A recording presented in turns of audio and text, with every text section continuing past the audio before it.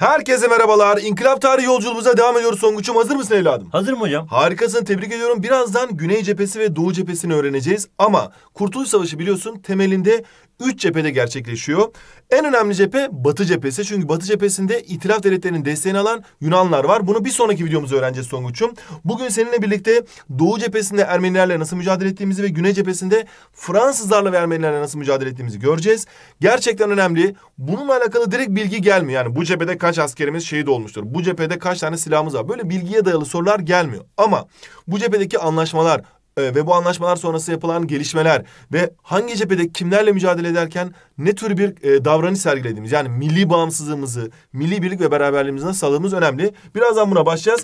Konumuzu bitirdikten sonra da zaten LGS kampımızda Aralık ayındayız. 2021'i de bitiriyoruz. Artık 2022 yani senin artık Fen Lisesi'ne, Anadolu Lisesi'ne, Sosyal Bilimler Lisesi'ne yerleşeceğin seneye geliyoruz. Ve bu seneki LGS'de inşallah şovunu yapacaksın. Ama tabii bu konuyu bitirdikten sonra mutlaka sıfırdan sekize sözelden, taktikli inkılap tarihinden, Dinamo inkılap tarihinden ve Zoru Bankası onda ondan bununla alakalı direkt LGS'deki soruları yakalamış. Yani 2021 LGS'de, 2020 LGS'deki birçok soruyu yakalamış ve 2022 LGS'de de muhtemelen birçok soruyu belki de 10 sorunun 10'unu da yakalayacak olan bu soruları çözmeni tavsiye ediyorum. Bu soruların tabii dijital yeni nesil sorularımız var. Onları da mutlaka hem Zoru Bankası'nda hem de Dinamo'da çözmeyi unutma. Şimdi o zaman ödevlerimizi zaten e, burada kampımıza da verdik. Sen kitaplardan bu konuyu bitirdikten sonra çözeceğin soruları biliyorsun.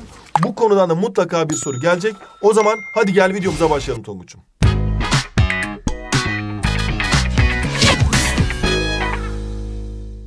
Biz tekiz onlar hepsi. Yani zaten Tonguç senin de söylediğin gibi ben tekiz Tek gelsene kardeşim. İndir eli diyoruz düşmana.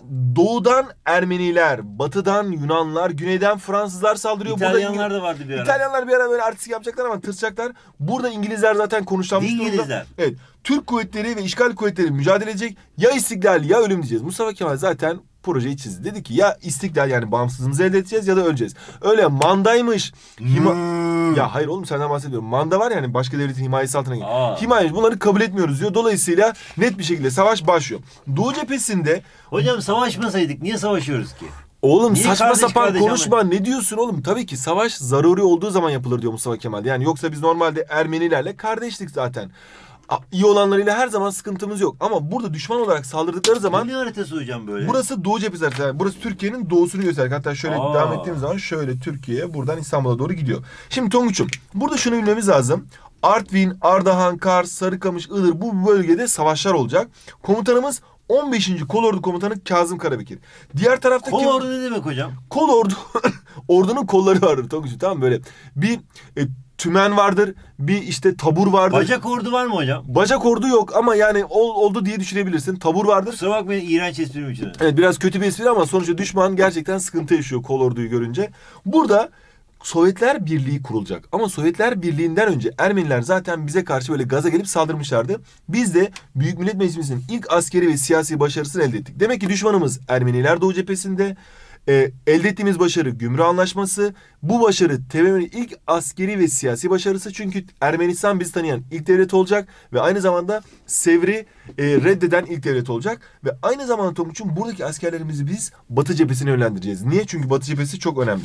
Şimdi Güney cephesine baktığımızda burada düşmanımız yine Ermeniler ve Fransızlar ama temelinde Fransızlar. Burada ise hani öbür tarafta Kazım Karabekir 15. kol ordusuyla bize yardım etmişti. Burada ise düzenli bir ordumuz yok. Düşman Fransızlar ve Ermeniler. Askerimiz ise bu sefer sadece ve sadece e, Kuvayi Milliye. Ama Kuvayi Milliye derken gönüllü halk birlikleri. Mesela Maraş'ta Milli kuvvetler. harikası. Maraş'ta Sütçü İmam var. Sütçü İmam normalde adam imam ama Ve hiç- süt satıyor. ve süt satıyor. Fakat düşmanı görünce bir anda Terminatöre dönüşüyor.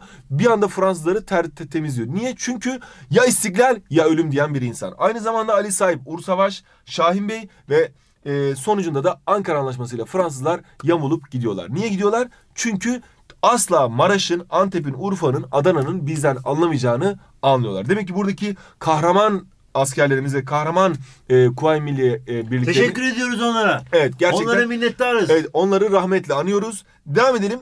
Burada şu da önemli. Esas cephe Batı cephesi olmuş. Çünkü Batı cephesindeki zaferler sonrasında mesela Ankara Anlaşması imzalanacak. Şöyle oluyor.